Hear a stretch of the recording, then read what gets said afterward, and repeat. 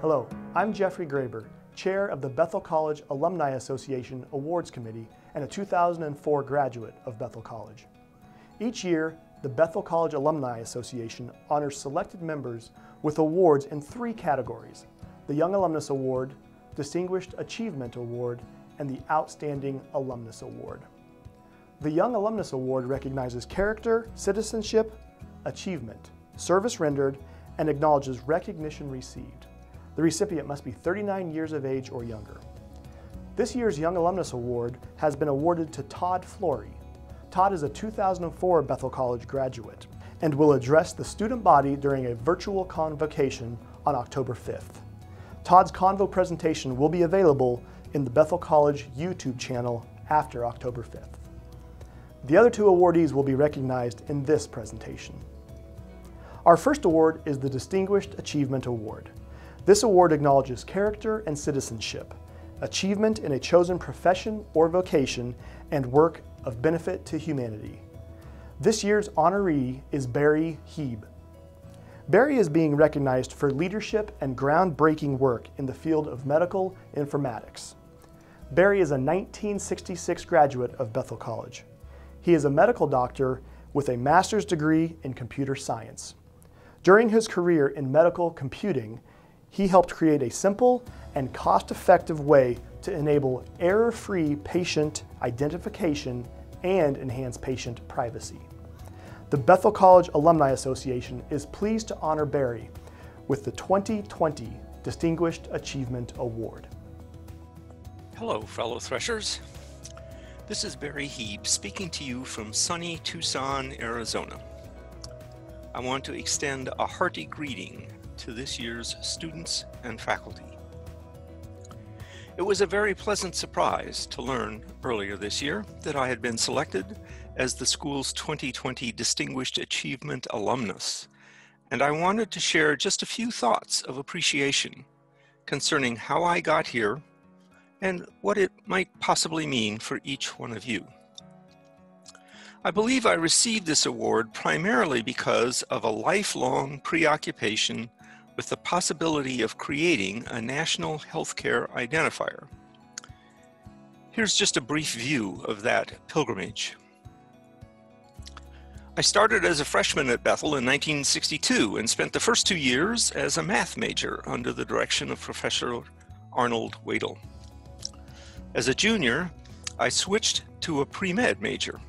And even though I never completely escaped Dr. Wedel's formulas, I dived into biology and physiology and chemistry and the like. Thanks to this excellent preparation, I was accepted into my first choice for medical school, Washington University in St. Louis. It was during a summer job following my freshman year at medical school that I was introduced to computers. But it was only during my senior year elective in biomedical computing that the, for the first time I began to consider what they might mean for the field of medicine. Despite that interest, I continued on with my chosen career of surgery, finishing an internship and one year of residency in general surgery.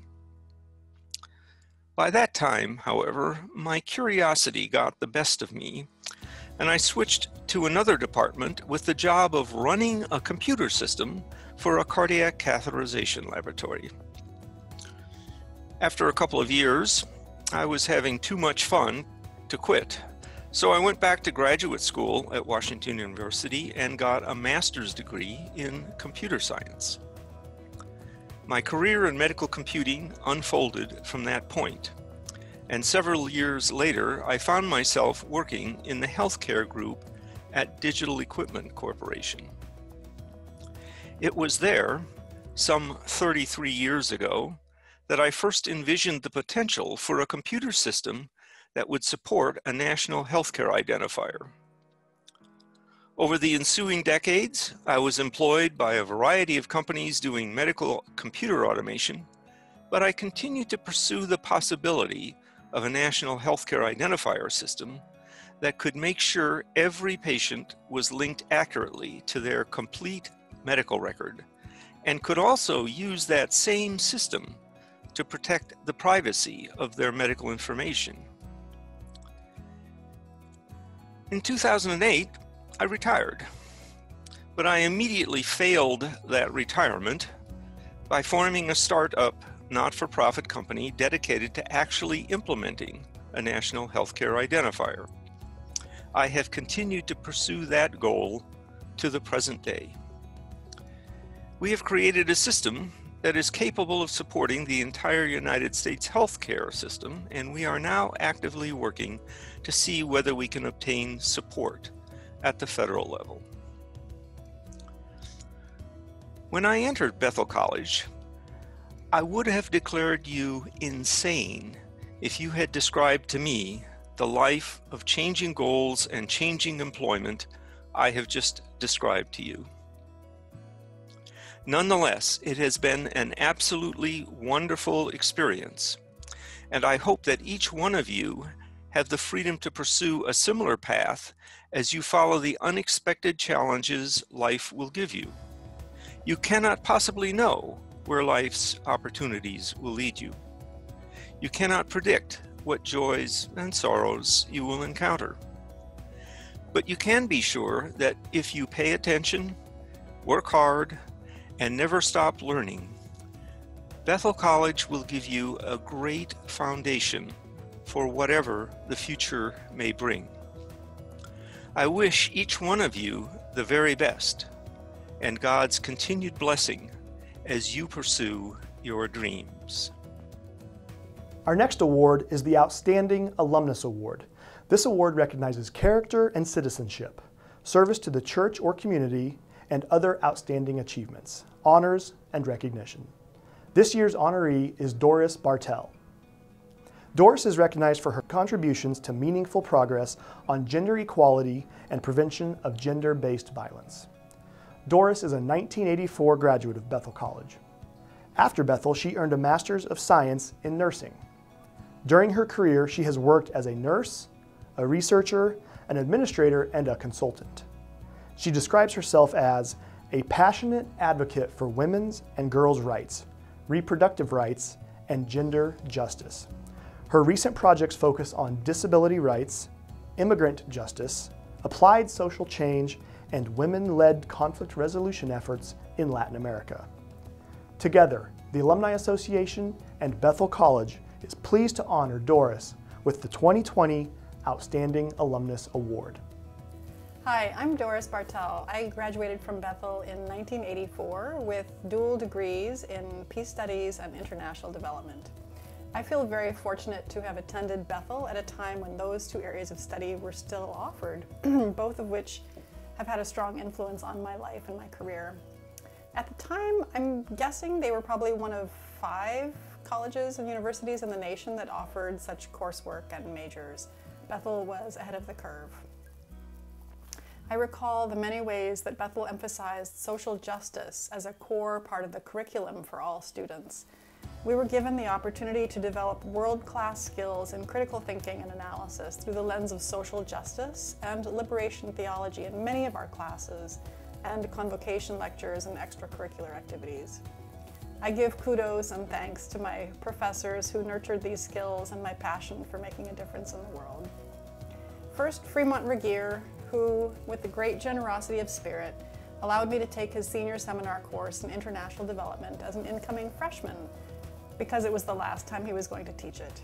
I have never worked harder in a class or learned as much. That class was the one that set me on a professional career in international development and gave me a much better preparation than many of the peers that I have met. He insisted on self-critique as well as systems critique, which was groundbreaking then and is still a radical notion in international development. Paul McKay and Robert Kreider, who negotiated a semester-long internship for me in a refugee camp on the Honduras-El Salvador border in the early 1980s, when U.S. military helicopters were dropping bombs on unarmed civilians trying to cross a river to safety. They showed trust in my ability to negotiate complex environments, for which I'm grateful. That humanitarian experience gave me a radical political education about the links between the United States' foreign aid and military policies, but also the incredible power of collective action of unarmed civilians to block the efforts of the US foreign policies and military might and carve out a peaceful future for themselves. Since Bethel, I've worked in the field of international development and international public health with a focus on reproductive rights, both domestically and internationally, for more than 20 years. There's a clear line of sight between the values, principles, and innovative practices towards peace and justice that I learned at Bethel and those that I use in my professional life. All these years I've applied those same principles and values to support local groups of poor people all over the world. My main job, one that I'm proudest of, has been to apply those innovative practices in group education settings to build critical thinking skills about systems of oppression. For the past decade, I've worked to uh, worked with women and girls and men and boys to figure out how sexism and gender discrimination is affecting them and what to do about it. My goal is for them to apply those same skills of self-critique and systems critique that Fremont taught us using a Freirean radical political analysis to their situation. And then develop their own plans for collective action and how to make change, much like I learned in my peace studies courses and in Honduras. I don't have enough time in this short video to explain the many, many signs of hope that I've seen. There are hundreds, thousands, hundreds of thousands of positive changes that have happened where people who are disempowered by systems of oppression are making a difference for themselves and for others. You can contact me if you want to hear any of these stories. It will give you some hope. Today, I'm an independent consultant, which allows me to bring together philanthropic donors and movement activists all over the world Together, we're figuring out better ways to fund and support the grassroots social change work that's making a, the world a better place. I'm grateful to Bethel for setting me on this path and only wish that the students at Bethel today had the same opportunities for some of the most cutting edge and valuable coursework that I was privileged to take in those two non-traditional majors. I'm humbled and grateful for the Outstanding Alumnus Award this year. Thank you for the honor. Congratulations to our award winners. You have made Bethel College proud.